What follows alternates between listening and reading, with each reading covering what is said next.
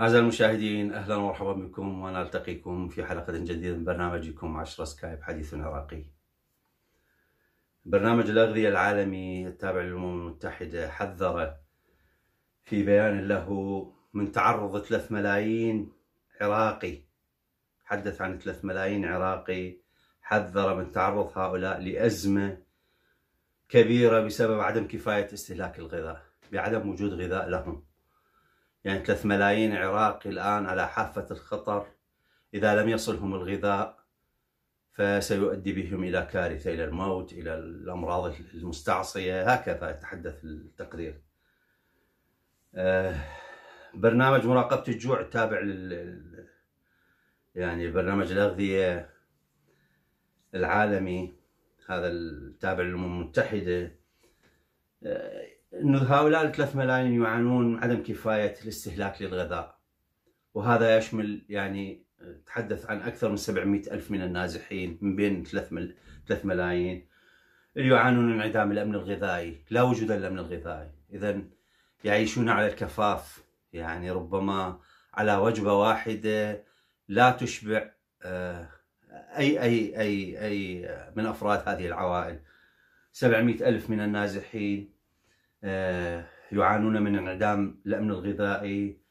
آه، قال تحدثنا عنهم يعني التقرير أيضا قال تحدثنا عنهم في تقرير نظرة عامة على الاحتياجات الإنسانية لعام 2021 في تقرير يعني المنظمة هذه آه، برنامج الأغذية العالمي التابع للأمم المتحدة كان عنده يعني تقرير اسمه نظرة عامة على الاحتياجات الإنسانية لعام 2021 هذا العام.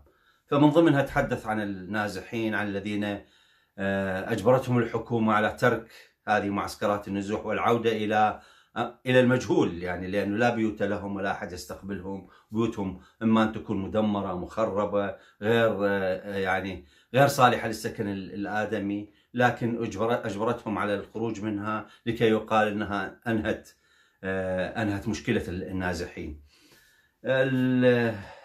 أيضا التقرير هذا تقرير برنامج الأغذية العالمي التابع للأمم المتحدة تحدث أيضا في بيانه على لسان ممثل البرنامج والمنظمه في العراق إلى أن تأثيرات سلبية طالت شرائح كثيرة من من العراقيين.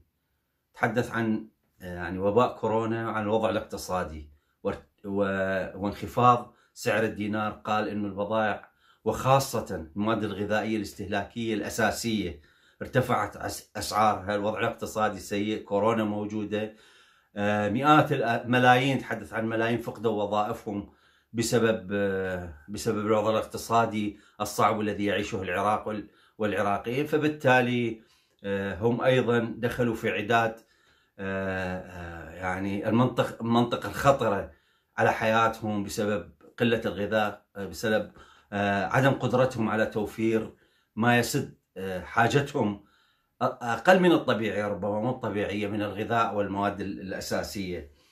الأسر العراقية في الغالبيه تحدث التقرير تعاني من من مشكلة في الغذاء، الدولة لم تساهم في شيء. طوال هذه يعني كل دول العالم ساهمت بمساهمات عينية ومساهمات مادية يعني لإسناد شعوبها في مواجهة آه، وباء كورونا. لكن إلا في العراق ترك الناس كما آه، لكي يتصرفوا على حالهم وبالتالي الكسبة خرجوا وتعرضوا إلى إصابات لأنه إن لم إن بقي في بيته وبقي معزولا لا يستطيع أن آه، يوفر لأهله لقمة العيش. فبالتالي يضطر إلى الخروج والعمل لكي يوفر مالا يشتري به المواد التي يحتاجونها.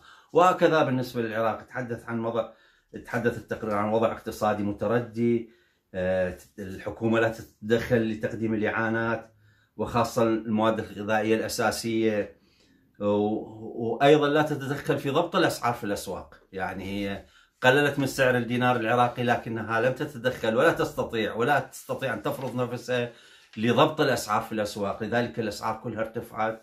آه، وتحد يعني هذا هذا الوضع آه، يجعلنا نتحدث عن وزارة التخطيط عندما تحدثت تقول إنه 12 مليون عراقي تحت خط الفقر.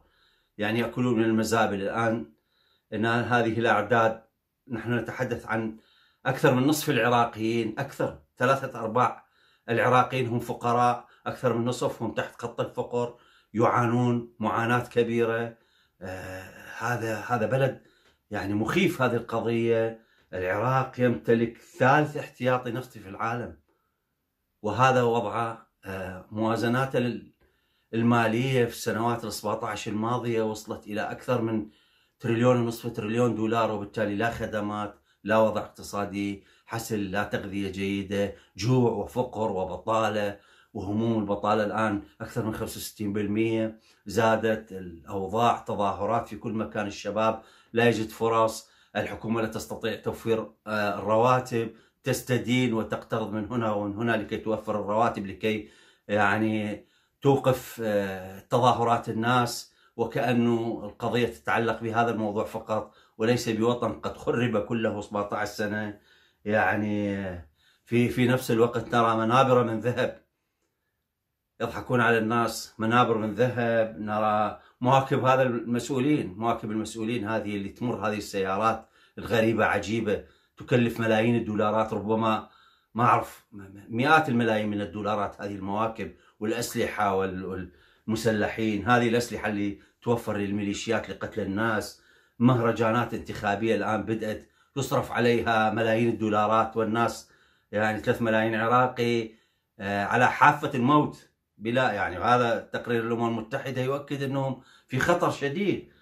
آه، ميليشيات تجول وتصول وتفرض على الناس أتاوات وتفرض عليهم أسلوب حياة وأسلوب تنفس وأسلوب وأسلوب رأي. بهذه الطريقة رواتب قليلة البطالة أكثر من 65% تحدثنا. تحدث وزارة التخطيط عن الفقر وتحدث عن 12 مليون تحت خط الفقر.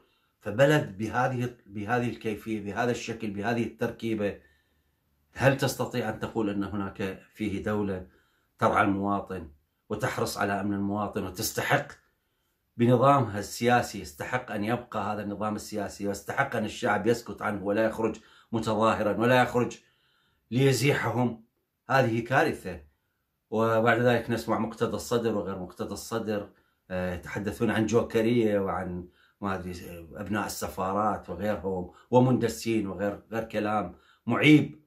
في بلد مثل هذا هذا الوضع هذا وضع هذا البلد بهذه الطريقة ويتحدث ويتحدثون عن حكومه هم جزء منها فاسدة ومخربة وطائفية وخطابها طائفي وخطابها مخرب وعميلة وذاعنة ورهنت استقلال وسيادة العراق للخارج وغير قادرة على أن تحفظ لا سيادة ولا استقلال العراق وغير قادرة على أن أن تمول المشاريع وتشغل الناس وتقضي على البطالة والفقر فمن هو الأجدر أن يبقى؟ الشعب الأجدر أن يبقى أم هذه أم هذه السلطات التي في العملية السياسية يجب أن تبقى؟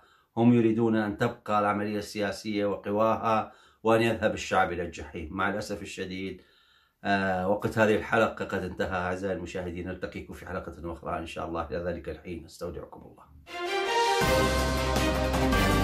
Thank you.